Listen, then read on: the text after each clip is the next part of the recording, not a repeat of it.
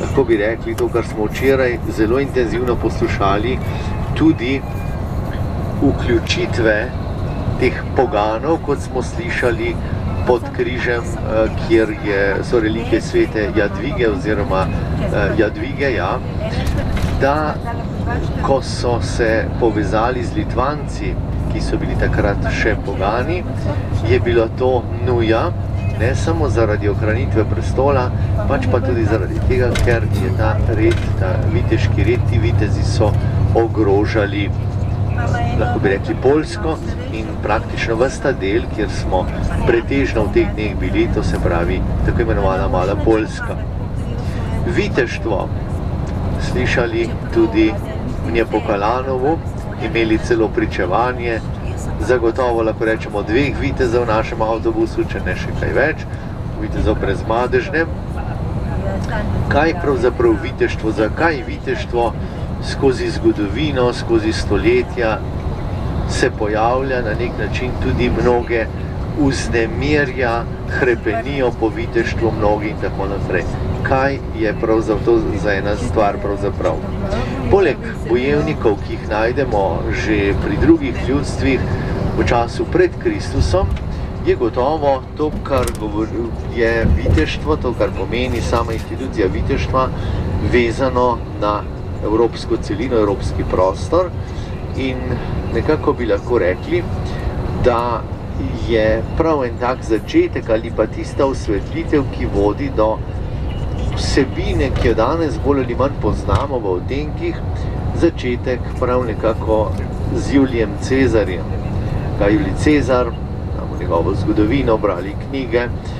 marsikaj o tem vojskovodi, ki želi posebej potem, ko se v Egiptu sreča s Kleopatro, pa ne mislim ta ljubezenski del, ampak predvsem, ko vidi, kako je Egipt suveren v smislu, ima svojega vladarja in še več kot to enega vladarja, ki je tudi božanstvo. No in takrat potem vemo, da to idejo želi prenesti in jo skuša implementirati v rimski senat, rimskim senatorjem in seveda to ne gre in potem tako tudi tistega 15. marca, marčeve ideli na 44 pred Kristusom, konča z bodljaji nožev. Najhujši, najbolj boleči je bil tisti od Bruta, lahko bi rekli posinovljenca, tudi zato zanimivo potem kasneje izraz, ki iz tega izhaja nekaj brutalnega, nekaj krutega. In ker ko reče ti tu brute in tudi ti brut, tudi sami vemo skozi življenje, najbolj boli tisti udarec ali pa pretrese, gane najbolj tisto, kar nam je najbolj blizu, kar je najbolj nekako do nas prišlo. In če so naši najbližji, so gotovo tisti, ki nas lahko najbolj ranijo in tudi najbolj usrečijo. Gaj Juli Cezar, še v času, morda se iz šole spomnimo, tako imenovanih triumviratov, zavezništev, ki so jih naredili, najbolj znani bi drugi triumvirat, Gaj, se pravi Pompej, Kras in pa Gaj Juli Cezar. In tako je Cezar tudi bil v začetku poslan v Galijo, to je današnja Francija,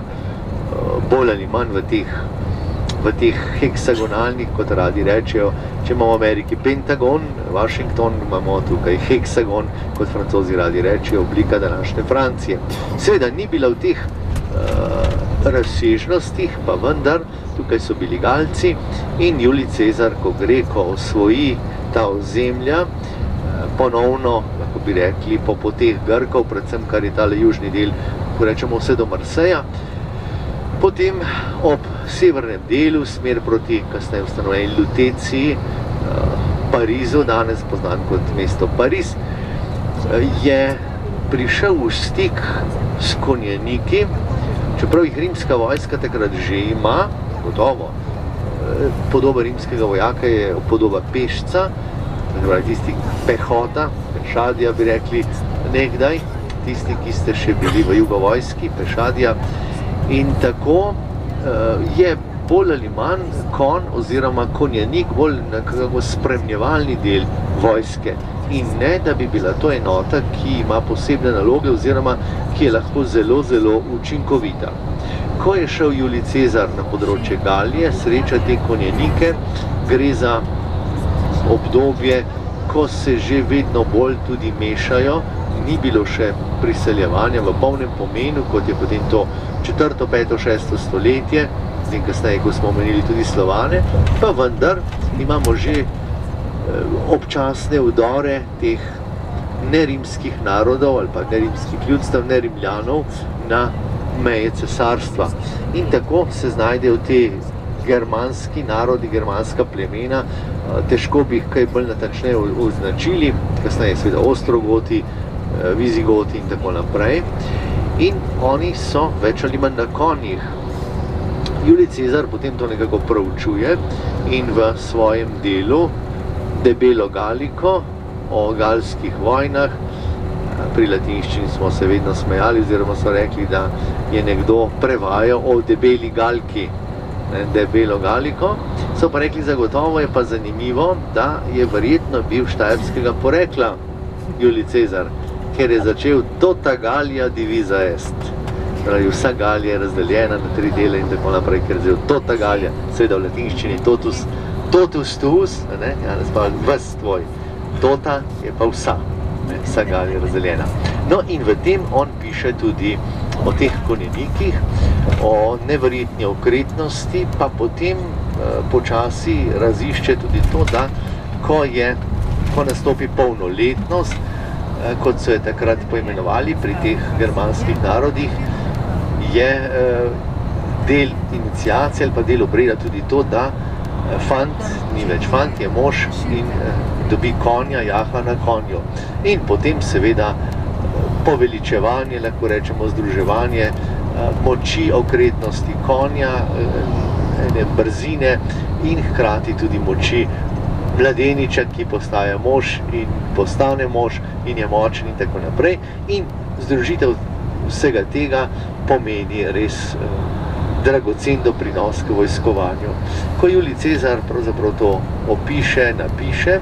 so potem kasneje vedno bolj tudi dali v rimski vojski prednost oziroma posebno mesto, mesto tej lahki konjenici, kasneje tudi težka konjenica, ampak to je že bolj vezano na srednji vek. No, tako se začenjajo prvi krat pojavljati, pojavljati oznake za rimske vojake, ne samo pehota ali miles, kot bi rekli, milicija od tega, ne, vojska, ampak imamo že izraz equites. Equites, dobesedno konjeniki, ker equitus je kon, equites konjeniki, no in tako prvikrat najdemo ta izraz in to konjenico. Kasneje so ravno zaradi uspešnosti pri bojevanju, pa tudi e, spretnosti, ki je bila potrebna in verjetno tudi, tako mnogi sklepajo zgodovinari, finančno e, nekako da si oskrboval konja, da si oskrboval orožje, kar bo posebej vidno v srednjem veku, so eh, potem prišli tudi znotraj rimske hierarhije eh, ti equites, bolj poveljniki, kot tisti, ki so bili pa malo bolj nobel od ostalih. Imamo patricije, ne bomo se zgodovino Rima ukvarjali, pa vendar so bili drugače kot plebejci. Plebs, plebis je ljudstvo, plebejci, Uh, ni to, pri nas bolj zveni to pejorativno ali slabšalno, vendar plebs, plebis je v latinščini ljudstvo. Uh, potem imamo pa patricije, nobiles, tisti, ki so bili plemeniti, ki so bili v končni fazi, komor je uspelo, da je postal senator, je bil to življenjski uspeh, v tem kurzu s honorom, v teku časti, kot so rekli, no in vmes uvrstijo tudi te equites, uh, konjenike, konjenike ko je konec rimskega cesarstva, zahodni del propade, se počasi formira srednjeveška družba in gotovo pomeni en pomemben del uh, ravno uh, to, da pride končno do cesarstva, novega cesarstva, vzhod, vzhodno cesarstvo živi naprej, na zahodu pa vemo, da z letom 825. decembra uh, papež Leon III. krona in mazili za vladarja najprej korona za vladarja Franko, potem pa za mazili za vladarja oziroma cesarja svetega rimskega cesarstva zaradi osnove, ki je torej krščanstvo, zato sveto rimsko cesarstvo, Karla Velikega. Eh, v času Karla Velikega, oziroma malo pred njim, imamo že njegovega deda Karla Martela, pa potem Pipin Mali. V tem času pa najdemo, lahko rečemo, tudi prve zametke, ker vse v zgodovini ima neke povezave prav gotovo, ali kot včasih rečemo, vsak zakaj ima svoj zato. Namreč v tistem času, posebej konec 6., 7., 8. stoletja, imamo velik udor in kar, lahko bi rekli, kar močno ogrožanje te osrednje Italije, Peninov, preko Apeninov do Rima, seveda, Langobardov, to so ti, sem že omenil, Langobardi, Lombardija se po njih imenuje, središče je bilo v Milanu, kasneje drugače pa sedež Langobardov,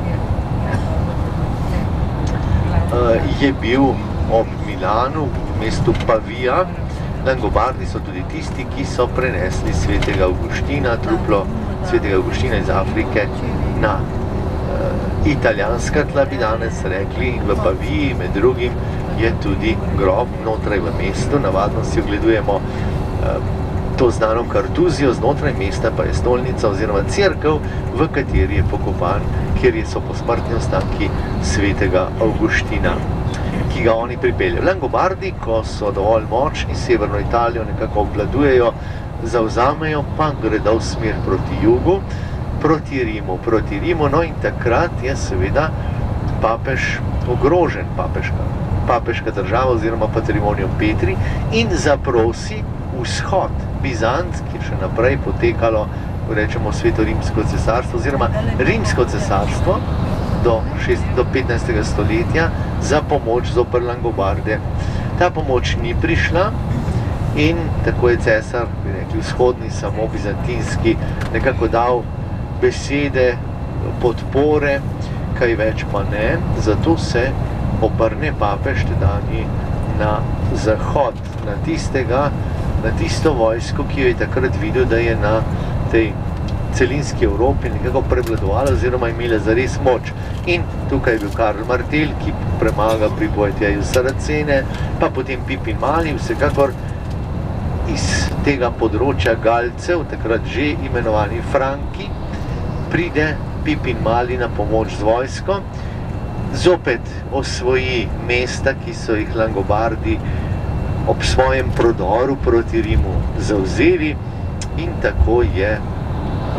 bi rekli, papež rešen, papeška država, patrimonium Petri, Petrova dediščina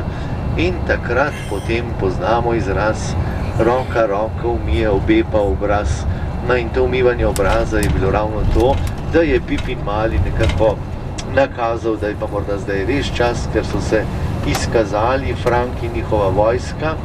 eh, in oni kot vodilni, da bi njegov sin sebi eh, ne bo pripisoval tega, ampak sin pa eh, bi z veseljem bil vladar, no in tako je potem Karel Veliki, po katerem se potem imenuje tudi rodbina Karolingov, imenovan za cesarja. Kaj ima zdaj tukaj viteštvo? Poglejte, Karel Veliki gotovo, ker obudijo na nek način, kolikor je v teh stoletjih, lahko rečemo 5, 6, 7, 8 stoletje, šele 9 stoletje za res, z letom 800 imamo cesarstvo, to je že kar 4 stoletja, ko se vse, tudi vojaško znanje, ko sem omenil Čenstohovi, Barbakan in vse te eh, dele, obzidi, Vse to je vzhod gojil naprej, to vojaško tehniko, ta znanja, zahod je pa nekako na to počasi pozabil, so bili seveda druge težave, drugi vdori. In tako so začeli počasi, začne Karl Veliki tudi nekako revitalizirati stvari, predvsem kar se tiče nekakšnega vojaškega ustroja. In tako sedaj poseže po tistem, kar je rimsko cesarstvo že imelo in da pomembno mesto tem eh, konjenikom, equites. Seveda, eh, ko pride nekdo na oblast, navadno tako ali ko so kakšne volitve dobljene, se potem, kot nekateri rečejo, narekovajo, dogaja se pa največkrat prav zares, delijo feudi. Ti si me podprl, ti si pomagal, pa boš to dobil, pa tako naprej. Nič novega, lahko bi rekli, scenariji ostajajo, samo uh, odri in pa igravci se menjajo skozi zgodovino. In tako Karl Veliki pač svojim najbolj zvestim tovarišem, bojevnikom potem podeli posamezna področja in ti so tudi ekvites, torej uh, konjeniki, ker seveda so bili takrat na konji prav gotovo in še marsikdo drug. No, od tod pa potem se začenja razvejati plemiški naslovi, komes, od tega pride potem grofje, baroni in tako, vas tem ne obremenjuje. Vsekakor, eh, takrat od Rimljanov naprej pomeni konjenik na konju res en vir moči, nekega zaupanja, okretnosti, obrambe, skratka vse to se počasi nabira. Ko še malo preden postane Karl Veliki cesar, vemo, da je bila znana bitka pri Roncesvalles 778, tam se navadno tudi začne potem ta francoska pot proti Santiago di Compostela. No in takrat imamo pesem o Rolandu, pesem o Sidu, vse te stvari, kar smo se jih tudi v šoli učili ali pa vsaj dotaknili, te junaške epe, da jih tako imenujem, in tam seveda opevajo Karla Velikega, bojevnike na konji in tako. In počasi, počasi ti konjeniki postajajo, dobijo neko identiteto, neko pomembnost, neka moč in ja, počasi se ta lik, uh, lahko bi rekli, bolj tega uh, konjenika, ne govorim še o vitezih, ampak tega konjenika tako zelo močno vzpostavi. Ko se sedaj začenja feudalizacija, razdelili smo ozemlje, ampak ozemlje je treba držati, ozemlje je treba tudi skrbeti za uh, imamo potem seveda dobo tlačanstva, oziroma tri razrede duhovniki, verjetno predvsem redovništvo, smo tudi že omenili, ki je nekako tisto, ki ima in kulturo, izobraževanje, no tako super ministrstvo čez, potem so bojevniki, belatores, bi rekli, in pa potem laboratores, delavci, konkretno govorimo o tlačanih. In ko so zdaj ozemlje razdelili, je bilo pa potrebno seveda imeti tudi ljudi, ki so delali laboratorij, hkrati pa tudi, da ima vsak od teh svojo vojsko, najemniško vojsko, oziroma iz svojega področja vzame tiste bolj sposobne in na mesto, da bi bili tlačani, da bi delali na polju, dajali desetino in to, kar potem vse kasneje poznamo, so taki dobili nalogo, da tvoja tlaka, bom zdaj tako rekel, je, da ko pride vojaška nevarnost, ko jaz kot feudalni gospod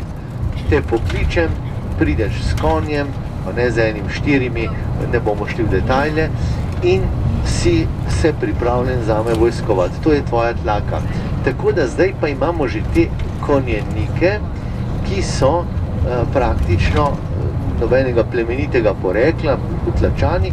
vendar je njihova tlaka, njihova naloga vojskovanje. Nekaj časa je to šlo, eno kratko obdobje, približno 100-150 let, avtori in zgodovinari si niso čisto enaki v tem, pa se ne strinjam, pa vendar kasneje se ugotovi, da je pa to kar draga zadeva. Vzdrževanje orožja, vzdrževanje uh, jezdne živali, štirih konjev, navadno so štiri imeli, enega, da je tovor peljal na bojno polje, čisto to veliko